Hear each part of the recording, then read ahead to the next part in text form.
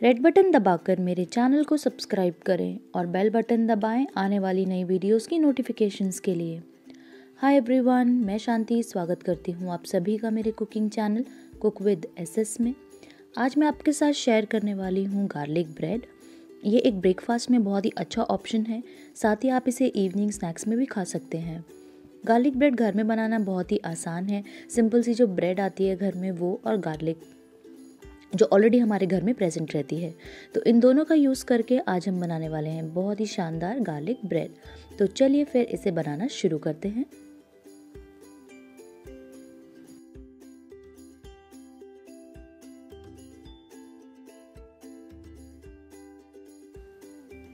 तो सबसे पहले हम लहसुन की कलियाँ ले लेंगे। मैंने यहाँ पर पाँच ली हैं और इन्हें अच्छे से छील लेंगे।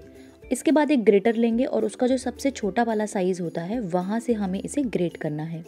तो जो भी लहसुन हमने लिए हैं, उन्हें हम ग्रेट कर लेंगे। ग्रेट करते वक्त थोड़ा सा सावधान रहें, अपनी उंगलियों को आसानी से और बहुत धीरे धीरे इस पर चलाएँ, ताकि आपका हाथ कटने से बचे। तो थोड़ा सा सावधानी बरते इस समय। तो यहाँ पर ये जो लहसुन है, वो कद्दूकस हो गया है। अब अब एक कटोरी लेंगे और इसमें डालेंगे हम बटर तो यहाँ पर दो बड़े चम्मच बटर का यूज़ करेंगे और ये जो बटर है, ये रूम टेम्परेचर पे मेल्ट हो जाना चाहिए। तो इसे आप बनाने से पहले, आधे घंटे पहले आप बटर को फ्रिज से बाहर निकाल लें।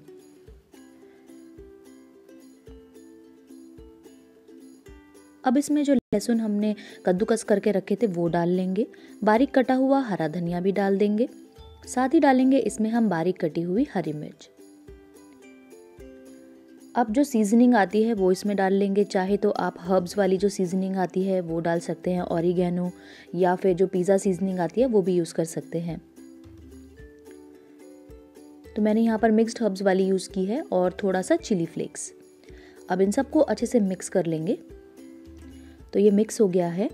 अब हमें क्या करना है? अब हम लेंगे दो पीसेस ब्रेड के।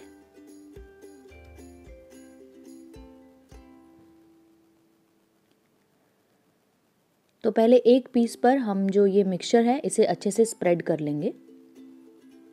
तो एक चम्मच की हेल्प से आप इसे स्प्रेड कर लीजिए।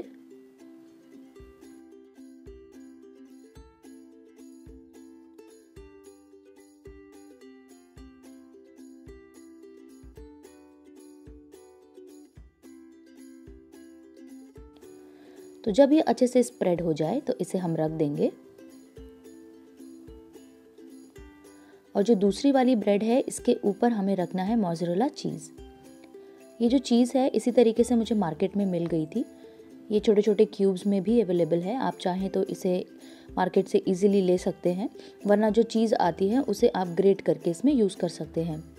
और जिस पर हमने बटर वाला जो मिक्सचर है, वो लगाया था, वो इसके ऊपर रख देंगे. अब एक तवे को गैस पर गरम कर लेंगे. और जो हमारी ब्रेड्स हैं, उसे हम तवे पर रख देंगे। जिस साइड हमने मिक्सचर लगाया है, उसी साइड इसे पलट कर तवे पर रख देंगे और एक से डेढ़ मिनट के लिए इसे सेक लेंगे। अब जो ऊपर वाली साइड है, वो बिल्कुल ब्लैंक है तो वहाँ पर फिर से हमें जो हमारा बटर और गार्लिक वाला मिक्सचर है, उसे हम लगा लेंगे। इसी तरीके से स्प्रेड कर देंगे। और जो नीचे की साइड है, उसे हम पकने देंगे।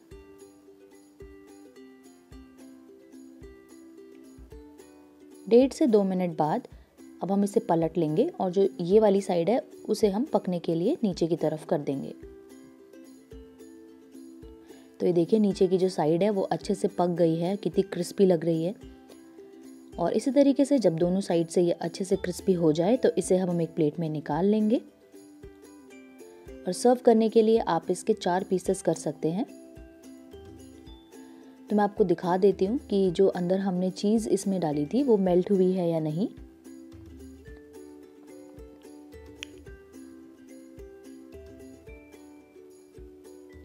आप इसे चीज़ डिप या फिर टोमेटो सॉस के साथ सर्व कर सकते हैं, बहुत ही टेस्टी लगती है। एक बार ज़रूर ट्राई करिएगा। तो देखिए, जो चीज़ है, वो मेल्ट हो गई है बहुत ही आसानी से। तो कैसी लगी आपको ये वीडियो, मुझे कमेंट सेक्शन में ज़रूर बताइएगा।